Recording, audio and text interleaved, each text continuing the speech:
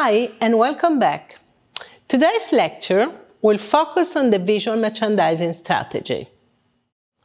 The in-store experience is part of the customer journey and visual merchandising is the creative and organizational activity used to interpret and visual for the store's product offer and creates important relations with the store's visitors.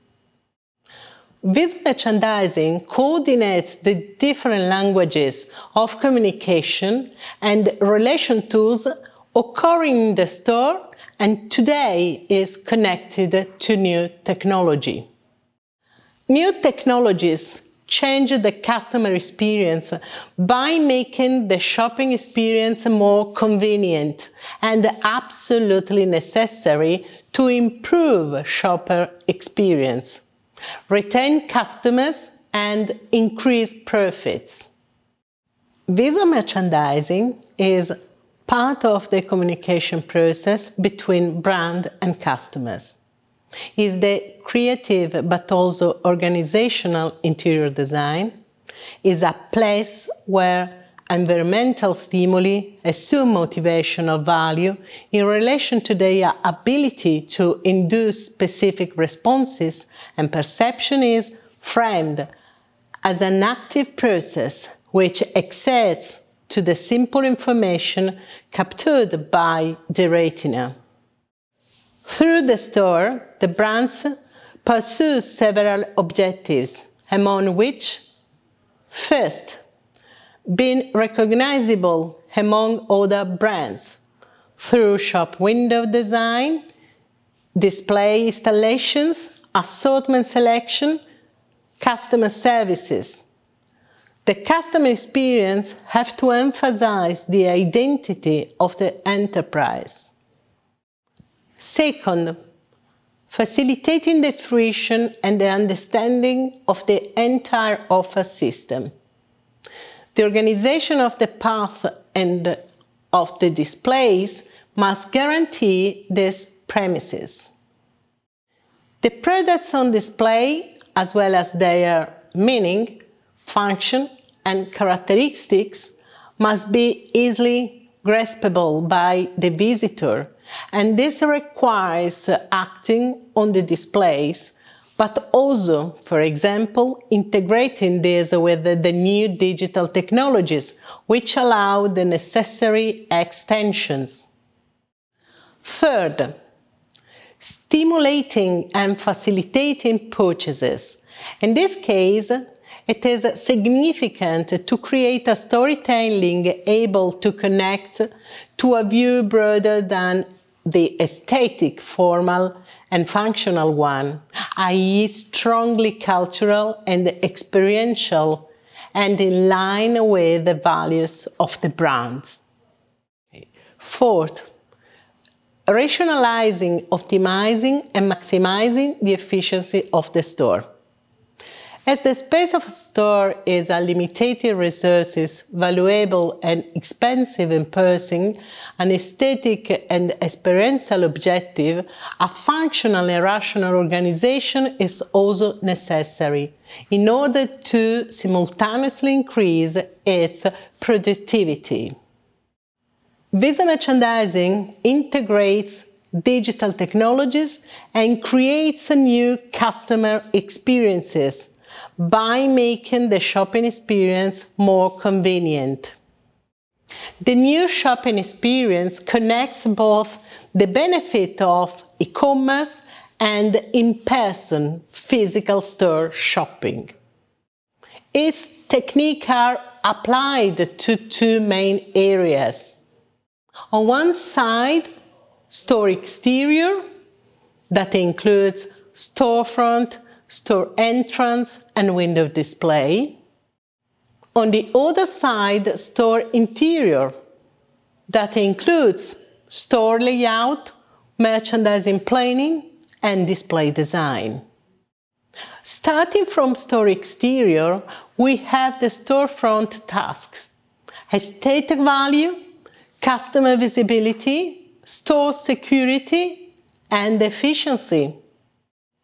About the story exterior, we have the entrance where it's important to create a change of atmosphere using scent, lighting, music, comfortable temperature. Always uh, on the outside, we have the shop window display.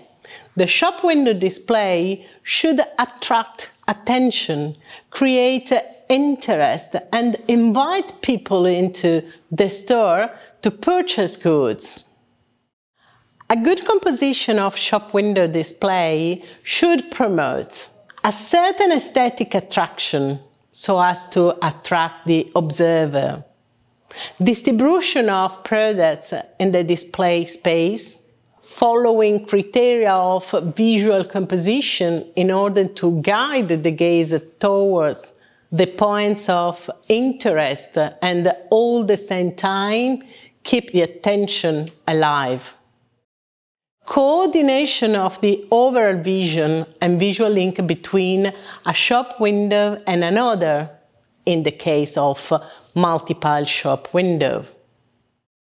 As far as the in-store design is concerned, visual merchandising takes place through some strongly interrelated operations store layout, merchandising planning, and display design.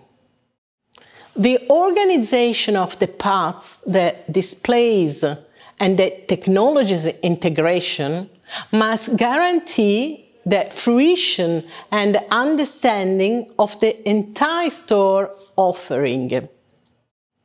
Through the layout, the store is divided into homogeneous areas defined by specific characteristics related to the arrangement of the product assortment, yield per square meter, brand policies, the confirmation of the available space, consumers' perceptive modes and possible areas to be dedicated to customer services.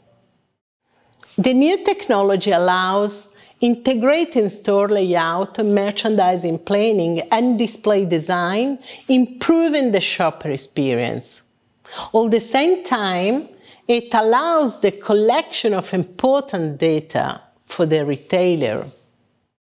Among the most important applications for the brick and mortar store, we find in-store cameras and sensor for tracking the customer journey, customer profiling and segmentation without registration, product interaction at the shelves, scan and go technologies, iBeacons digital displays and dynamic messages connected to store hub, social media, Internet of Things, virtual reality for optimizing customer experience and sales, augmented reality to amplify the experience, contents and information, artificial intelligence. Even through display form are now subject of experimental and differentiated contaminations, thanks to the new digital transformation contamination. The equipment layout usually refers to four main types of layout. First, straight floor plan, involves positioning shelves or racks in straight lines to create an organized flow of traffic. It is economical and excellent for almost any type of retail store. Second, angular floor plan consists of curves and angles which give off a sophisticated vibe.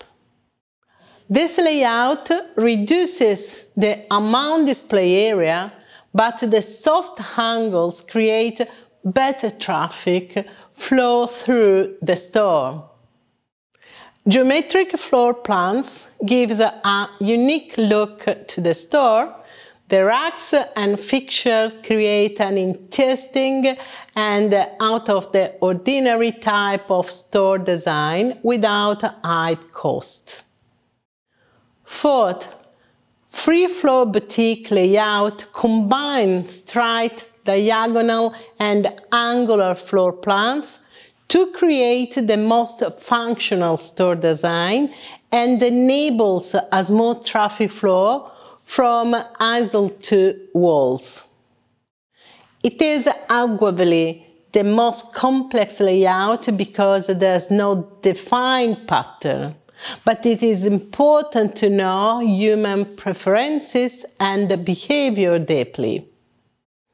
The merchandise layout develops through specific retail planograms, where the desirability of the product is strongly related to the organizational and narrative of the exposition.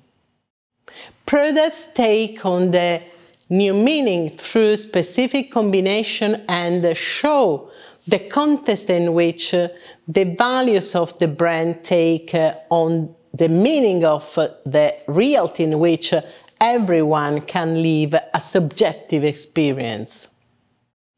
From the main operational perspective, merchandising layout develops mainly through three specific interventions. The design of the display point, the focal point, and the central display areas.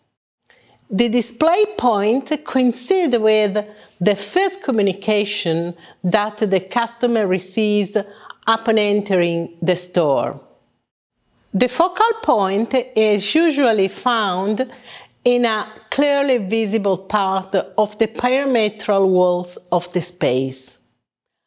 More than can be found in larger sales areas while it often finds a place on the wall opposite the entrance in smaller sized ones. Finally, the central display areas coincide with such areas where there are greater display. The succession of different display points induce visitors to go from one point to another on the retail space. Regarding merchandising planning, the layout includes the mix of certain types of products, including first, traffic builder, which generates traffic, attracts customers, and increase purchases. Second, margin contributor, which generates high margins and or significant turnover. Third, cash generator that accelerates cash flow, high turnover, and frequency of purchase. And finally, image creator, which creates an image. In addition to this knowledge it is important that a visual merchandiser knows in deep the context of visual communication, starting from the grammar of vision uh, up to the management of the use of color and still has the ability to build mood boards favoring the processes of design thinking. To conclude, in this lecture, we have understood that whereas a store is the narrative context of the brand and the visual merchandising represent its linguistic structure.